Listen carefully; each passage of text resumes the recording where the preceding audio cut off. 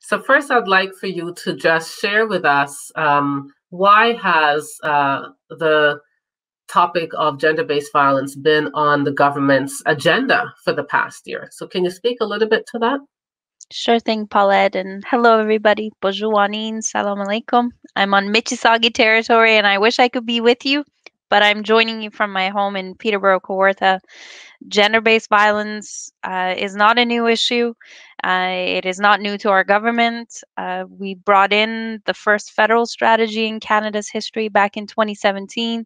And today, what we've been able to support directly is about a billion dollars in supports over five years to frontline organizations as well as various justice reforms. In the first couple days of the pandemic, my team and I got on the phone, and we are so fortunate that folks like Paulette and so many others in the sector take our calls and answer our questions and reply to our texts because we asked, what should we be focused on at the Department for Women and Gender Equality over the coming months? And unanimously across the country, you all said the same thing. You said, make sure that the last door that women, children, and non binary folks knock on when they are able to flee violence and abuse is a door that's open to them, that is safe, where staff are paid and can provide the care and professional service that they need. So it was really those conversations in the first 48 hours, Paulette, with you and many like you across the country that uh, focused our government uh, across a range of issues, uh, specifically on this one that not every home is a safe home. And we better make sure that those who know how to do this work have the emergency supports they need as soon as possible. Thank you, Minister Monsef. Thank you. It really has been quite a partnership. Um, I think partnership is the right word to describe the kinds of relationship that we've been able to have here at the Canadian Women's Foundation. And, and uh, that partnership has really grown over the years. I think that really placed us in this position of being able to respond um, uh, and activate ourselves quickly to be a continued partner during this pandemic. So thank you for the investments that you've made. And of course, you'll always hear from our sector that it's not enough, but that we're really concerned about what comes next. As you know, we've been doing some work around that uh, in terms of preparing the sector, sharing some knowledge. But what what is the plan post pandemic? Could you talk a little bit about that? Well, right now, job one is getting Canadians through the pandemic. And you're right, Paulette, we can't do this without our partners. Uh, in those early days, had it not been for Women's Shelters Canada, for yourself at the Canadian Women's Foundation, we would not have been able to deliver the funds as quickly as we were able to to the front lines. That was really important to us. And because of those trusting relationships we had built, with the sector, we were able to put money into people's bank accounts within a matter of days. And I know this took a lot out of your team, and I know this is a big gathering for for your board, outgoing and incoming, and all those who support you. Just that work that you did, particularly in the early days, it made a world of difference. We're getting our numbers now, and some 700,000 women and children, non binary folks in their hour of needs, not including Quebec, have been able to seek the services and and receive the services they need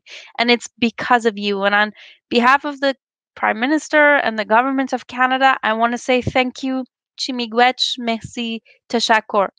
And these partnerships are going to enable us to continue to respond to COVID. There's another uh, $50 million that we're rolling out now as we speak uh, in emergency funds. And I thank you, Paulette, and your team for being uh, one of those partners uh, delivering those funds for us. In the coming days, we'll be announcing an, an additional $100 million to provide supports to front lines. This is three year funding. This is meant to uh, support organizations to respond to COVID, but also build back better what happens in that path to build back better? You heard the prime minister say in the uh, speech from the throne that women's safety is the foundation for Canada's recovery. He referred to the National Action Plan on Gender Based Violence, which we are making uh, progress on with provinces and territories. We met with them a few weeks ago, and we've made a significant step forward with the signed declaration that we're all going to work on a national action plan together. In the meantime, making sure that we prevent the spread of COVID, that we roll out the vaccine as quickly and as equitably as possible remains top of mind. And I know there's also a, a pre budget consultation process happening right now until the third week of February. So if anybody would like to provide input to our government about recovery, supports for the vulnerable, supports for women, that intersectional approach, this is a moment for you to go online to the Finance Canada website and make sure that your voice is heard and know that we will too continue to carry your voice.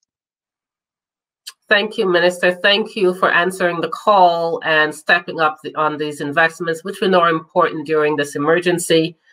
And I, I, two more things I wanted to say to you. Well, first thing I want to say to you that this is the Canadian Women's Foundation's 30th year.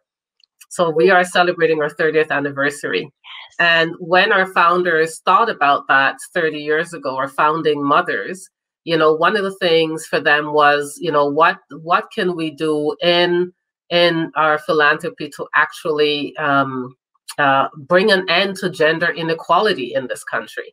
Uh, and to bring about equality uh, for women and girls and gender diverse folks. So, um, you know, there's been a movement to establish an action, a national action plan on gender based violence. And I thought maybe I'd give you a minute or so to talk about that work. Uh, what uh, what that's shaping up to look like, and uh, what we hope to accomplish as a result of that plan. Well, whatever progress we make on this file, Paulette, it's because of those who've come before us. And congratulations on your 30th. Thank this you. is this is a hard year, but it's important to celebrate these very big milestones. And yes, the we owe it to the very smart folks who came before us to do right by the opportunities in the past they've created for us. And the National mm-hmm. Action Plan on Gender-Based Violence is one of those important milestones too.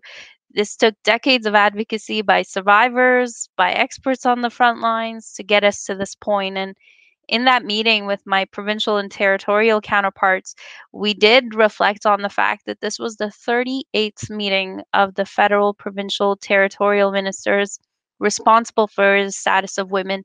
And this was the first time that we had all come to a formal agreement on a national action plan on gender based violence.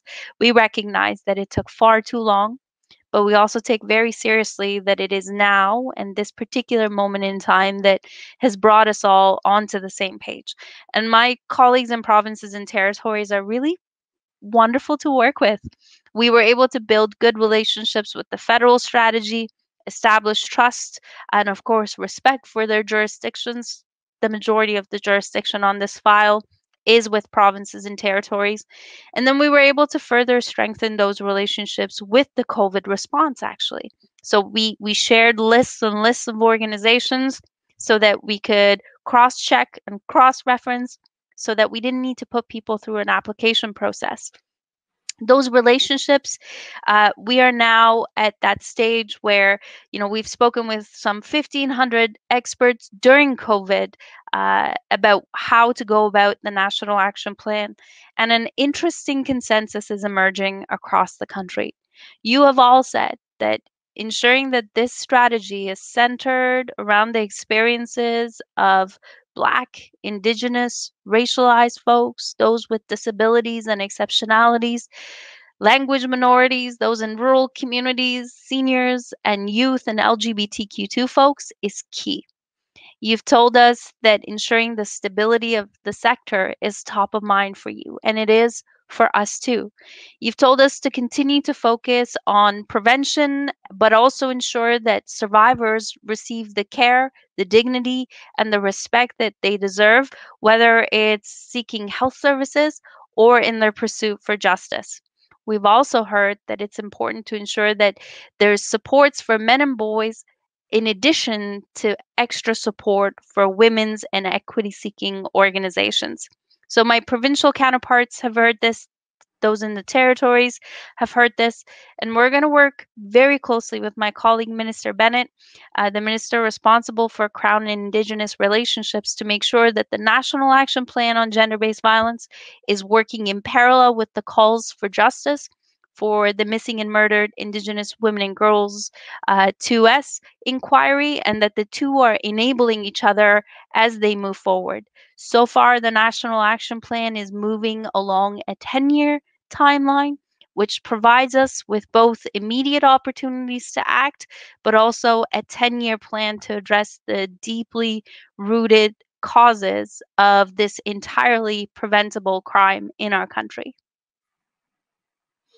Well, thank you, Minister. Uh, my time is up, and it does go fast. Uh, but I am just wanting to let you know how appreciative I am, we are, with the time that you've taken to uh, to to be with me today to answer my questions and to do it in such a comprehensive way, so that uh, it's well said, very clear, and it's also quite obvious about your the passion that you bring to this work, the respect you have for those that you're working with, as well as the future that we're creating for generations to come. So thank you so much for for doing this and uh, for taking the time today.